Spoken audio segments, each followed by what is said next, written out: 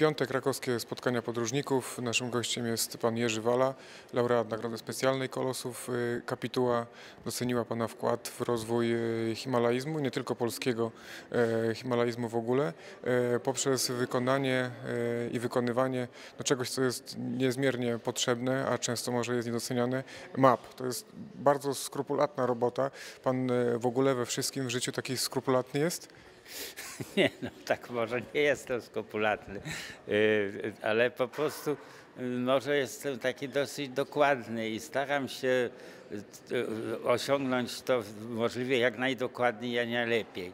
Poza tym pasjonują mnie te mapki, y, opracowywania tego, jeżeli to jest teren właśnie, do którego brakuje materiału lub ba- bardzo mało znany, to tym bardziej mnie on pasjonuje i interesuje i staram się po prostu, to jest takie wirtualne wędrowanie po górach którego oczywiście nie mogę zrobić w, pra- w praktyce, w rzeczywistości, a daje mi tą dużą satysfakcję, że mogę jakby wejść w rozpoznanie tego terenu górskiego przy tych opracowaniach, bazując na rozmaitych materiałach. Do niektórych gór miałem oczywiście podkłady topograficzne, y, mapy wielkoskalowe, ale do większości tych opracowań, które robiłem, to na ogół nie było takich właśnie materiałów. I, te, I tam właśnie, gdzie brakuje takich materiałów, gdzie, gdzie trzeba coś wymyślić, prawda, y, wykombinować na podstawie bardzo skąpej informacji, to to mnie najbardziej, że tak powiem, intryguje i, i, i zachęca do takich opracowań. One są bardzo żmudne i wymagają, bo na przykład jak robiłem mapę Karakorum, Zajęło mi to 5 lat czasu po prostu.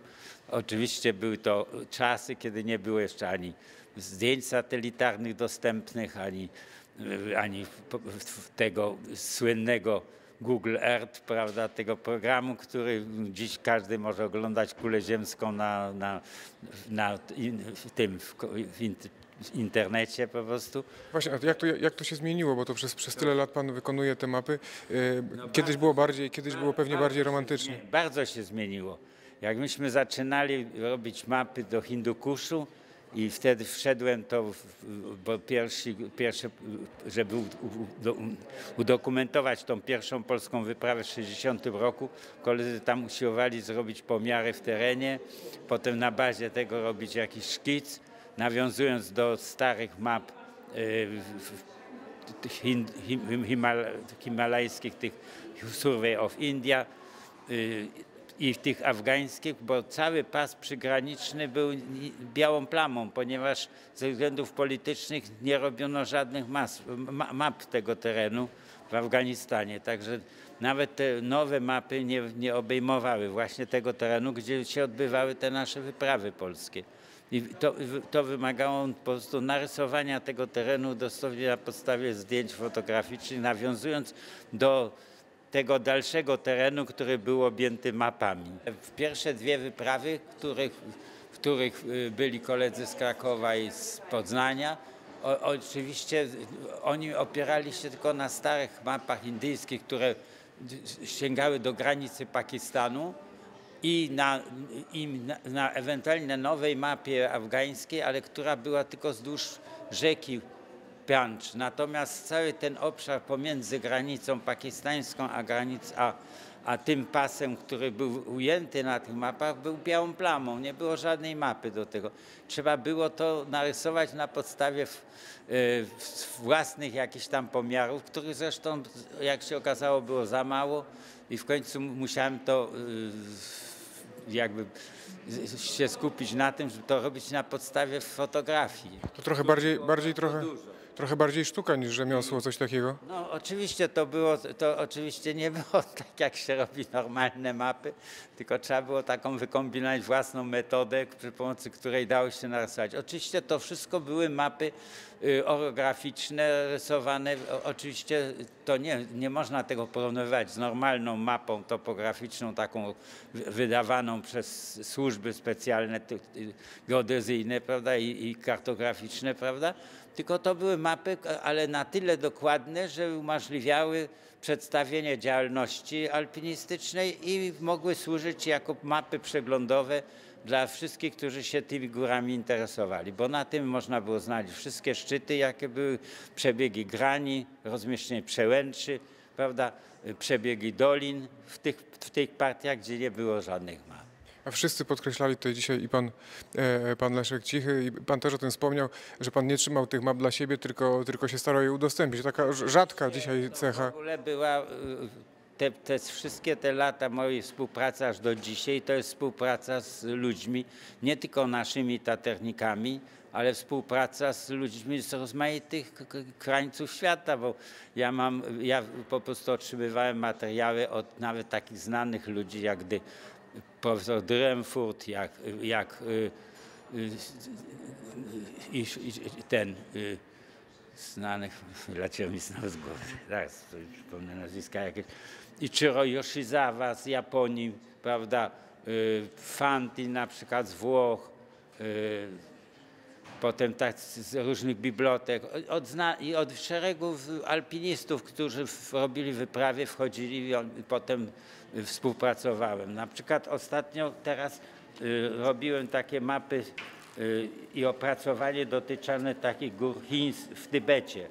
No i Czentangla, taki masyw to jest Czentangla, który, y, który po prostu, pomimo że jest pozornie bardzo blisko Liasy, 80 kilometrów tylko i który jest, wzdłuż którego biegnie szosa asfaltowa i są miejscowości i jest linia kolejowa, a jednak góry te nie były przedstawione na żadnej dokładnej mapie y, dostępnej w ogóle, bo prawda, trudno mi powiedzieć, czy wojskowe służby chińskie nie mają jakichś map dokładniejszych, ale w każdym razie to, co jest dostępne, to było bardzo, bardzo takie pros, u- prymitywne dosyć po prostu.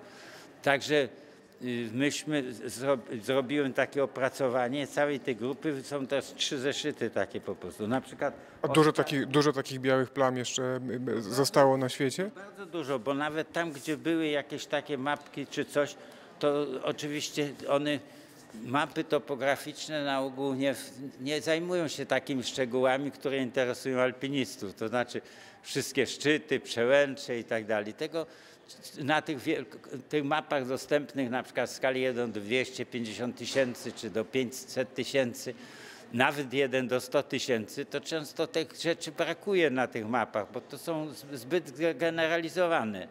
Y, Bo nikt nie robi takich map, górami się mało, y, służby takie to krajowe to się mało tak, takim, takimi szczegółami interesują. I trzeba nawet, jak, jak korzystałem z podkładów tych y, rosyjskich, 1 do 200 tysięcy, 1 do 100 tysięcy, to one też są zgeneralizowane. Podają dokładny może przebieg dolin i przebieg grzbietów górskich, ale szczegółów tam nie ma. Jeżeli chodzi o szczyty, to wiele, wielu, wiele turni szczytów jest zupełnie pominiętych, prawda, z, przez tą generalizację.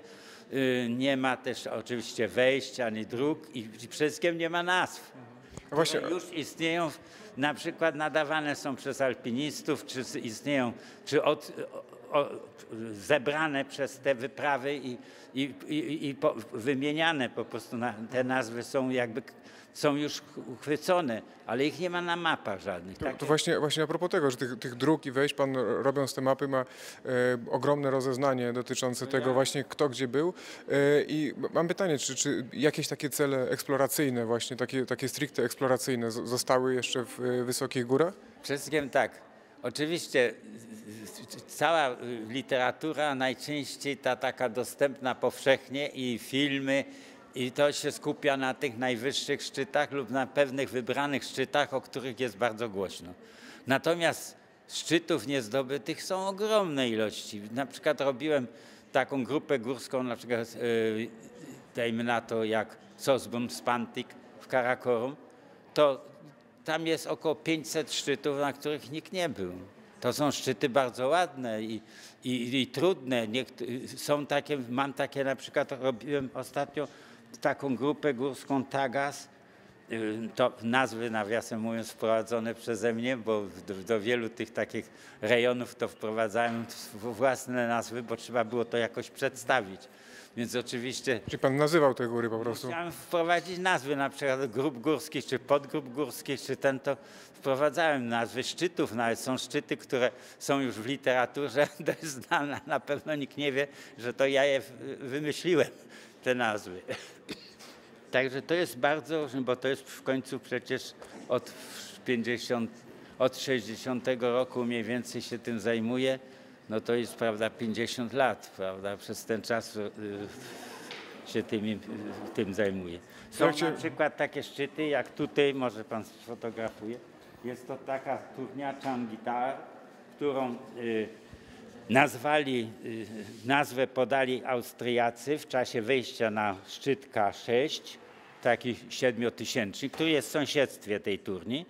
I na przykład, i wtedy podali nazwę te, te, tej turni. Na tej, na tej turni nikt się nie wspinał, ponieważ by- była w jakimś sensie w terenie niedostępnym w tej chwili politycznie, ona jest nie bardzo dostępna.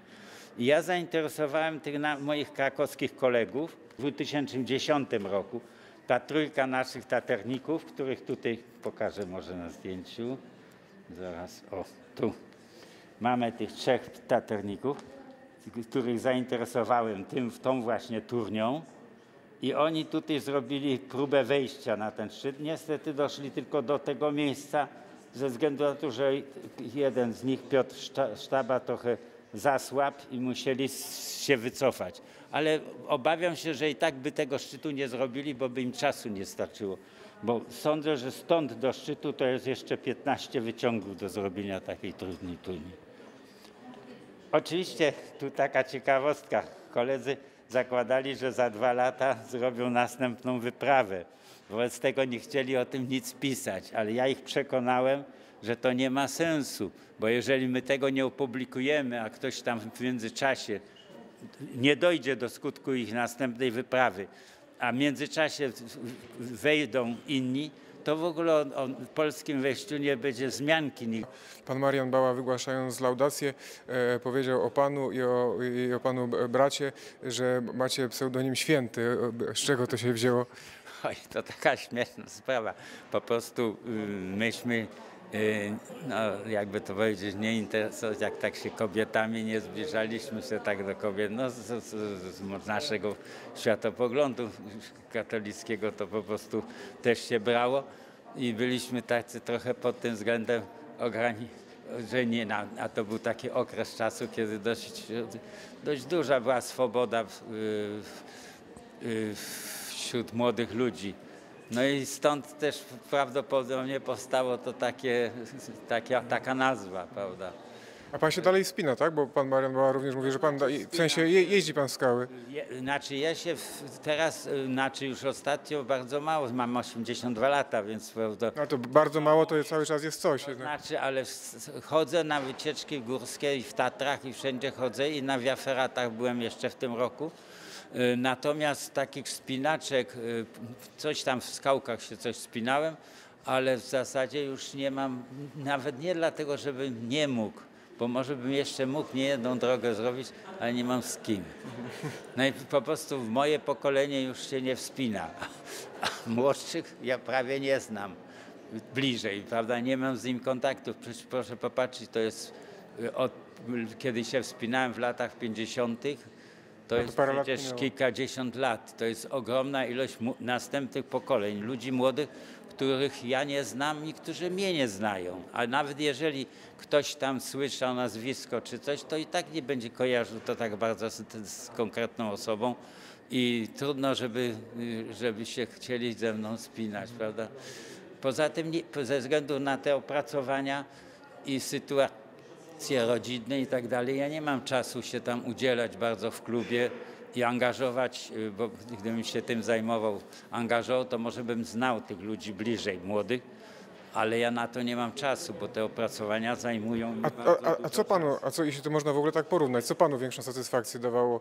Czy, czy, czy sama wspinaczka, czy, czy skartowanie tego, zrobienie Muszę mapy? powiedzieć, że ja się nie byłem nigdy nastawiony sportowo. Nie mam jakoś tak, takiej inklinacji do sportu jako takiego. Góry interesowały mnie jako góry przede wszystkim. I jako teren po prostu. I, i to mnie najbardziej pasjonowało. I spinaczki, to było jakby takie poznawanie terenu, jakby poznawanie czegoś, co się działo po prostu, ale ja nigdy nie, nie, nie, nie konkurowałem z kimś o jakieś, o jakieś sukcesy, nie miałem nigdy jakichś ambicji takich wspinaczkowych sportowych, jak to się, także jak to występuje u wielu młodych ludzi po prostu.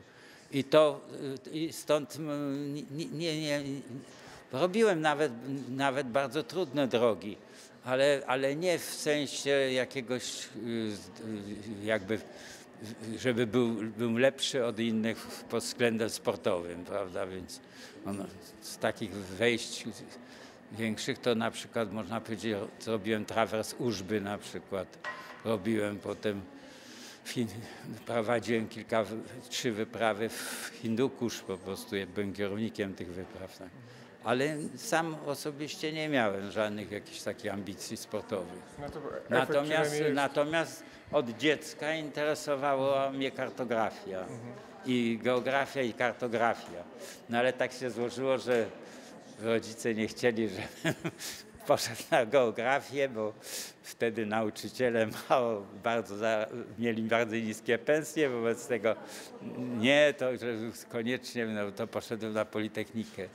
Byłem konstruktorem, skończyłem konstrukcję obrabiarek w Warszawie na Politechnice, a potem byłem y, też konstruktorem sprężarek chłodniczych przez, od, od 61 roku właściwie do 2004 roku pracowałem w Cochu, Centralnym Ośrodku Chłodnictwa i tam większość okresu to były konstrukcje sprężarek robiłem. No, Od małych do wielkich. ale talentu kartograficznego pan nie zmarnował zupełnie. No ale w związku z tym, że nie poszedłem na geografię, bo tak nawet próbowałem potem jeszcze się starać dostać na tą geografię, ale się nie dostałem.